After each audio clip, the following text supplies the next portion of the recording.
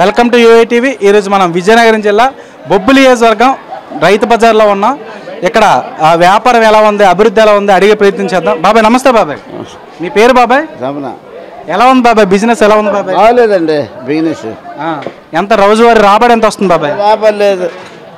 ఏ వ్య- వ్యాపారాలు లేవు. మరి ఎలా ఉన్నాయి బాబాయ్ ఇక్కడ? షాప్ రెంట్లు గట్రా బాగా పెంచారని చెప్తున్నారు బాబాయ్. ఎలా పరిస్థితి ఎలా ఉంది? పెంచారంటే మరి దానికి అధికారం అరిగిన లేరు. ఇంకా గతంలో ఎంత కట్టేవారు బాబాయ్?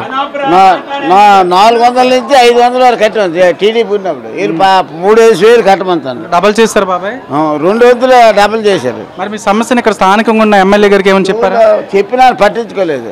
ఎవరు? ఎమ్మెల్యే గారు ఎవరు ఇక్కడ? ఇది చిన్నపల్లేడు మరి ఆయన ఏమైనా స్పందించారా మీ సమస్య మీద? ఏ మరి పట్టించుకోలేదని చెప్తాను కదా. మరి ఇక్కడ రోడ్లు గట్ట ఎలా ఉన్నాయి బాబాయ్? రోడ్లు బాగలేదు రోడ్లు ఏం బాగాలేదు బాబాయ్? ఈ బజారాలు ఆవులు. ఆ. చిరగేసలు గుద్దీలు మరి మున్సిపాలిటీ వాళ్ళు వచ్చి క్లీనింగ్ గట్ట చేస్తున్నారు రోజు? అయ్యేం క్లీనింగ్ అంతా అన్నిటి తెంగిరు వాళ్ళు పట్టించుకోలేదు. ఎలా బాబాయ్ మరి ప్రభుత్వం తరపు నుంచి మీకు ఏమైనా పథకాలు వస్తున్నాయా? సబ్సిడీలు కానీ రుణాలు కానీ ఏటి లేవండి. పథకాలు కూడా ఏం రాలేదా? గవర్నమెంట్ ఇల్లు ఏమైనా ఇచ్చారా మీకు? మాకు లేవండి. మరి గతంలో చంద్రబాబు ఉండేటప్పుడు ఎలా ఉండే బాబాయ్ రేట్లు ఎలా ఉండేవి? ఇప్పుడు ఎలా ఉన్నాయి? రేట్లు తక్కువ ఇప్పుడు రేట్లు డబల్. ఇది మరి నూనెలు ఉప్పులు పప్పుల ధరలు ఎలా ఉన్నాయి బాబాయ్ ఇప్పుడు? రేట్లు కొనాయండి అన్ని రేట్లే. మరి ఇక్కడ రోడ్లు గట్ట ఎలా ఉన్నాయి మీ నియోజకవర్గంలో? రోడ్లు కానీ మంచినీటి సమస్యలు కానీ ఏ రోడ్లు బాగాలేదు. మరి ఎవరు పట్టించుకోవట్లేదు మరి. వాళ్ళు మరి అసలు పట్టించుకోలేదు. ఆ. మరి గతంలో ఎవరు ఎమ్మెల్యే గారు ఎవరు? బాబాయ్ టీడీపీ ఎమ్మెల్యే ఎవరు ఎమ్మెల్యే గారు? ఇప్పుడు ఈయన ఉండడు. ఎవరంటే? బేబీ నాయుడు కాదు. ఆయన ఆయన పరిస్థితి ఆయన పరిస్థితి ఎలా ఉండేది? ఇప్పుడు కొద్ది బాగానే ఉండేది. ఆయన జనంలోకి వచ్చి సమస్యలు తెలుసుకునేవారా? తెలుసుకుంటారు బాగానే ఉండేది. ఎంత ఘోరం కాదు. ఆ, ఇంత ఘోరం కాదు. బాగా జనాలను అర్థం ఆ, చేసుకున్నారు అది. మరి రాబోయే రోజుల్లో ఏ ప్రభుత్వం వస్తే బాగుంటారు అంటారు బాబాయ్ టీడీపీ వస్తే బాగుంటుంది. ఎందుకు బాబాయ్ టీడీపీ రావాలంటారు? కొద్ది సదుపాయాలు జా- జారీ చేస్తారని ఆలోచన పేదలందరికీ అనుకూలంగా ఉంటుంది. కొద్దిగా ఆరోగ్యం బాగుంటుంది. ఓకే బాబాయ్. Thanks welcome to UA TV ఈరోజు మనం విజయనగరం జిల్లా బొబ్బులి నియోజకవర్గంలో ఉన్నాం. ఇక్కడ భవన కార్మికులు ఉన్నారు. అడిగి వాళ్ళ కష్టాలు తెలుసుకునే ప్రయత్నం చేద్దాం. పెద్ద నమస్తే బాబాయ్. మీ నమస్కారం పేరు బాబాయ్? కంచి శ్రీనివాసరావు. ఏ ఊరు మంది? Bobbili native place. ఏం చేస్తారు బాబాయ్ మీరు? తాపి మేస్త్రి. ఆపీ మేస్త్రి. ఉదయం ఎన్ని గంటలకు వెళ్తారు బాబాయ్? ఈ సెంటర్ ఎనిమిదిన్నరకి స్టార్ట్ అవుద్ది. ఎనిమిదిన్నర తర్వాత డ్యూటీకి ఎవరి మట్టుకు వాళ్ళు వెళ్ళిపోవడం. ఓకే. మరి రోజు పని ఉంటుంది బాబాయ్? రోజు ఉండదు. ఒక్కోసారి ఒక్కోలాగా ఒక్కోసారి ఒక్కోలాగా ఉంటుంది. పని లేనప్పుడు ఏంటి పరిస్థితి బాబాయ్ మరి? పస్తులే మరి. మరి ఎంత వస్తుంది రోజువారీ మీకు సుమారు రాబడి? రోజుకి ఇక్కడ ఏడు వందల యాభై రూపాయలు మేస్త్రికి తాపి మేస్త్రికి. ఐదు వందల రూపాయలు మొక్కూలికి. నాలుగు వందల రూపాయలు ఆడకూలికి. మరి ఫ్యామిలీ మొత్తం ఎవరికి కావాల్సిన బ్యాచ్ వాళ్ళు తీసుకుని వెళ్ళిపోతుంటారు వచ్చి ఇక్కడ? అంతే. ఆ డబ్బులతో వాళ్ళు బతకడం ఇప్పుడు పనులు ఎలా ఉన్నాయి బాబాయ్ అంటే ఇసుక రేట్లు పెరిగాయి ఐరన్ రేట్లు పెరిగాయి అంటున్నారు గత గతంతో పోలిస్తే. మీ పనులు ఎలా ఉన్నాయి ప్రస్తుతానికి?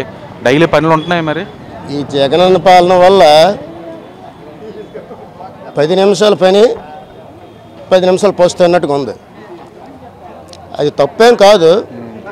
ఈ రెండు మాసాల తర్వాత అందరూ పోస్తే ఎప్పుడు నిజమనేది నిప్పులాగా ఉంటుంది. ఎప్పుడు ఉన్న తరహాలోనే మళ్ళీ చేయవలసిన పని.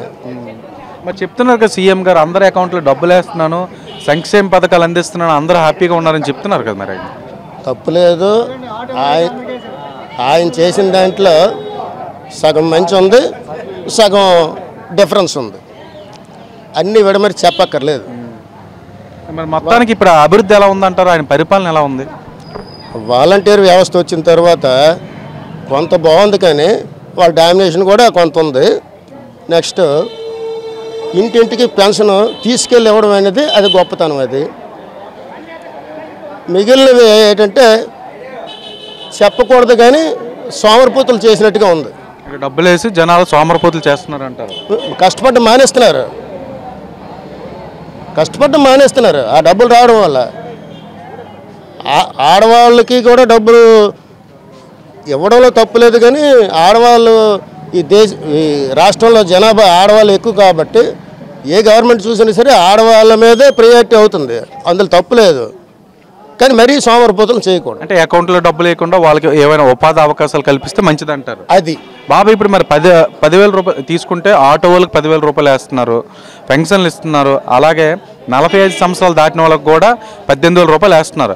ఆ విధంగా ఈ భువన కార్మికుల కోసం ఈ ప్రభుత్వం ఏమైనా పథకాలు కానీ ఏమైనా రుణాలు కానీ సబ్సిడీలు కానీ ఏమైనా మీకు ఇచ్చిందా ఈ ప్రభుత్వం తరఫు నుంచి? లేబరు వ్యవస్థ అనేది ఇక్కడ ఉంది. వాళ్ళు పట్టించుకునే పరిస్థితి లేదు. కార్మిక వ్యవస్థ పట్టించుకునే పరిస్థితి లేదు. నేను చాలాసార్లు డిమాండ్ చేశాను ఇక్కడ ఉన్న లేబర్ ఆఫీసర్ని. మాకు పైనుండి ఇన్స్ట్రక్షన్స్ ఎలాగ ఉన్నాయో అలాగే చేస్తామంటే మా మా చేతుల్లో ఏం లేదని చెప్పేస్తున్నారు వాళ్ళు. అంటే ఎవరు పట్టించుకోవట్లే. పట్టించుకోవట్లేదు. పట్టించుకుంటే నిజానికి ఏడు వందల యాభై కోట్లు ఎంతో ఈ కరోనా సమయంలోని భవన నిర్మాణ కార్మికుల తాలూకా అమౌంట్ నుండి తీసుకొని ఎక్కడ డెవలప్మెంట్ చేశారనేది అంటే బీమా కింద ఏదో విషయం మీద టర్న్ ఓవర్ అయింది. అంటే మీ ఫండ్ తీసి వేరే దానికి యూజ్ చేశారు. అది భవన నిర్మాణ కార్మికుల తాలూకా ఫండ్ తీసి వేరే వాటికి ఉపయోగించారు.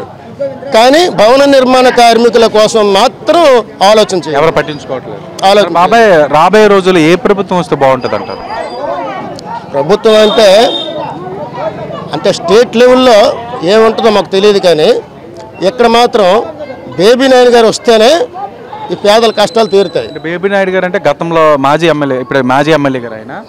మాజీ ఎమ్మెల్యే గారు సుజీ కృష్ణరంగారావు గారు మినిస్టర్. ఓకే. ఆయన సోదరుడు బేబీ నాయన్ ఇప్పుడు ఇన్ఛార్జ్. ఆయన వస్తేనే పేదల కష్టాలు తీరుతాయి. ఎందుకంటే పిల్లగానే పలికే వ్యక్తి గడప తొక్కగానే ఉట్టి ఖాళీ చేతులతో పంపించకుండా ఆయన ఏదో రకంగా సేవ చేసే వ్యక్తి. అంటే ఆయనకు తోసిన సహాయం ఆయన చేస్తారంటారు. ప్రభు ప్రభుత్వం ఏదో చేస్తుంది హామీ ఇవ్వచ్చు. ప్రభుత్వం చేయాలని అంటే bench to bench bench to bench వెళ్ళేసరికి ఈ దినం తీరిపోద్ది. ఎప్పుడో వస్తుంది పోతుంది.